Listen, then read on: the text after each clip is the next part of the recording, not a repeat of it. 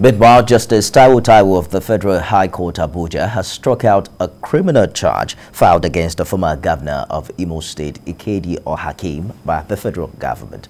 Mr. Ohakim and one Chinedu Opaleke were being prosecuted by the federal government for allegedly threatening to release nude photographs of an Abuja-based lady, Chinyere Amuchenwa, if she fails to drop charges of attempted kidnap against them.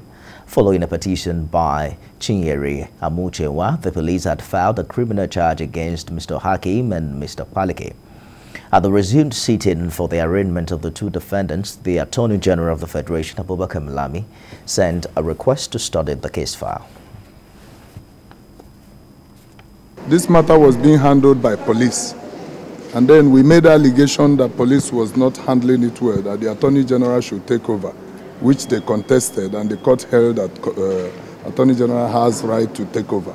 So having made such representation to the Attorney General, the other party has also made representation to the Attorney General.